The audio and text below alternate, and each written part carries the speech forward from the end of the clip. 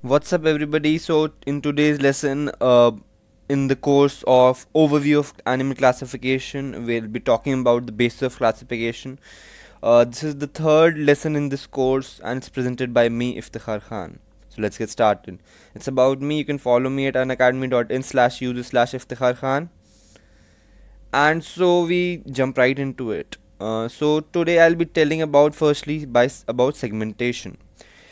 So it's basically the process uh, by which the organism increases its size in the embryonic age, and in some cases it also increases while it is in in it's in the adult form.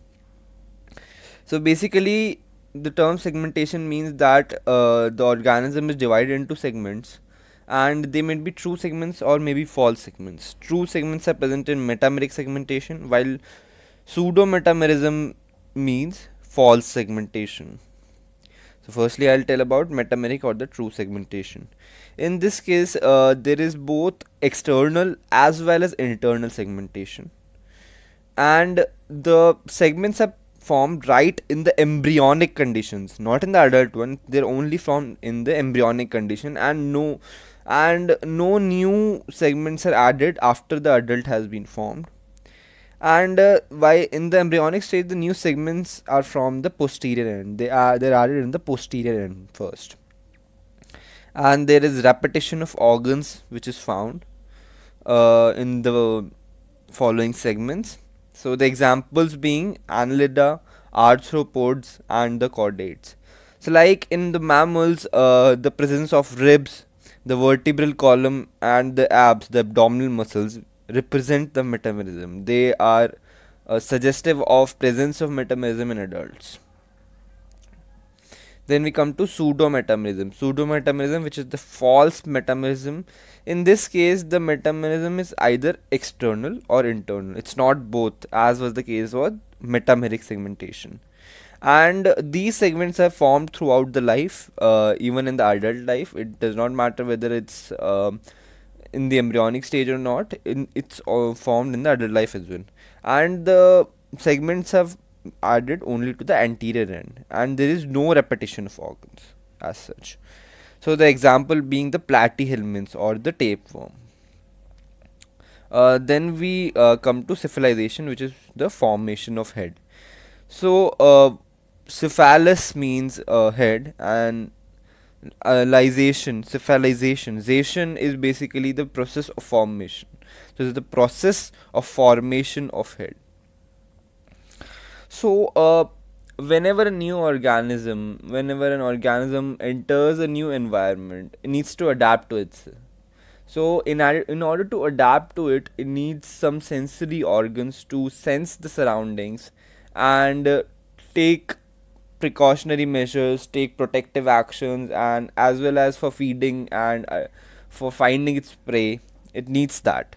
So these sensory organs are mostly present on the head. The head, the head has uh, quite a density of sensory organs. Like in the case of humans, we have the eyes, uh, the ears, and the nose on it.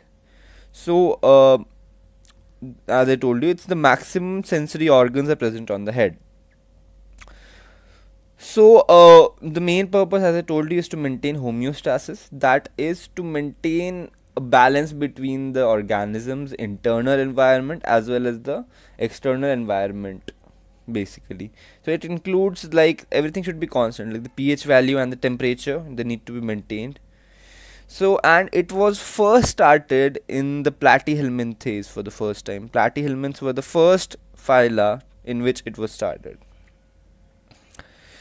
then we come to development. Uh, development is basically how an individual how an adult organism is formed from the stage from the development earliest development stage that is the egg basically.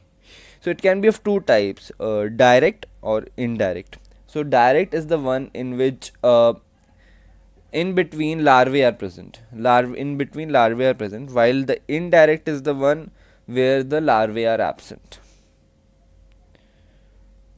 okay uh, what, what I told you is that in the direct one there is no larval forms. I will I will correct myself that in the direct one there is no larval form as such. While in the indirect one is that the egg first turns into a larva and then into the adult. Okay so uh, direct no larval form. Indirect a larval form is present so uh, as i told you in the direct there is no larval stage is present. And it's because the eggs have sufficient nutrients and uh, they, they do not need a provision to take the nutrients from the mother's body. Uh, like in, in oviparous organisms which have sufficient nutrients have direct have the direct development while if uh, the egg is not present in viviparous organisms. In that case uh, there is a formation of of uh, a structure called placenta which helps in taking the nutrients from the mother's body. While in indirect the larval stage is present like in the case of echinodermats few annelids few arthropods and few amphibians. So that's it for this lesson. Thank you guys. Thanks for watching. Stay tuned